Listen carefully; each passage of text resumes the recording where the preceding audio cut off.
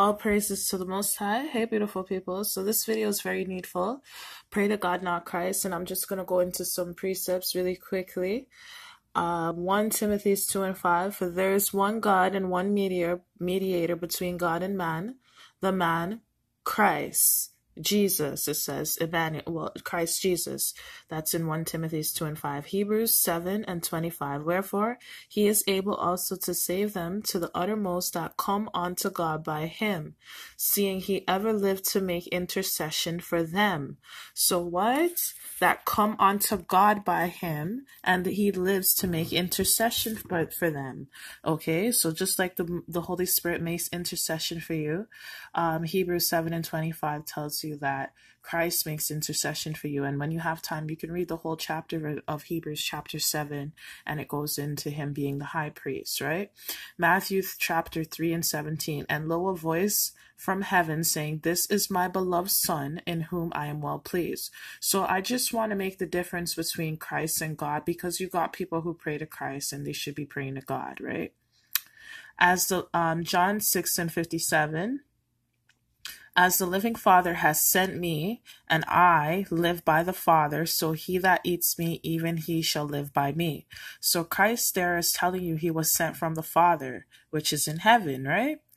Um, now, John 8, chapter 8, verse 16, and yet if I judge, my judgment is true, for I am not alone, but I and the Father that sent me. So Christ here is telling you he was sent by the Father again.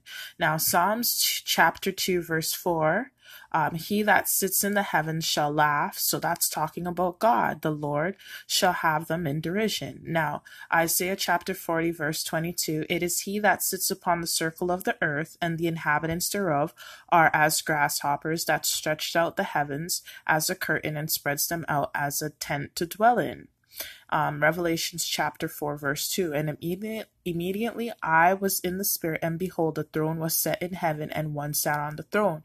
The one who sits on the throne is God. All right now, Isaiah chapter 66, verse 1 Thus says the Lord, The heaven is my throne, and the earth is my footstool. Where is the house that you build unto me? And where is the place of my rest? So, God is in his holy habitation, okay? Christ came down to save the people, he sent his son if you understand the parable about uh, uh, um, the king sent his son and they beat him. He sent more servants and they beat him. That's talking about the prophets. He sent more prophets as messengers and they beat them and sent them away. And then he sent his son. His son was Christ, and then they killed him. That pro- that that parable is talking about the prophets and Christ, right? Now Mark chapter nine verse seven. And there was a cold that overshadowed them, and a voice came out of the cloud saying, "This is my beloved son. Hear him." That's God talking to the apostles and the disciples, telling them to hear Christ, hear his beloved Son. Now, so learn the difference between God and Christ. Now, chapter now this is the book of Acts, chapter five. I mean, chapter seven, verse fifty-five. But he, being full of the Holy Ghost, looked up steadfastly into heaven and saw the glory of God, and Christ standing at the right hand of God. So now this is telling you that the Messiah is sitting at the right hand of God. That Christ Jesus is st- um, Emmanuel is sitting at the right hand of God. Now, Acts chapter 7, verse 56, and said, Behold, I see the heavens open, and the Son of Man sit standing on the right hand of God. Now, Ephesians chapter 1, verse 20, which he wrought in Christ when he raised him from the dead and set him on his own right hand in heavenly places.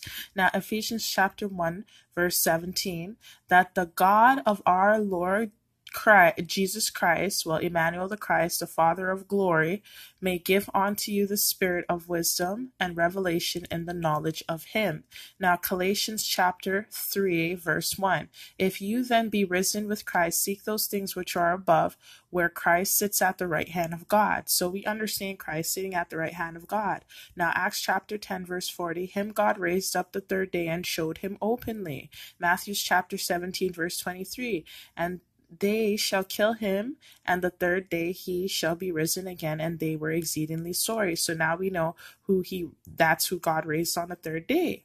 Now, cha- um, the first book of John, chapter 2, verse 22 Who is a liar, but he that denies Jesus is the Christ, Emmanuel is the Christ, he is the Antichrist and denies the Father and the Son. So you got people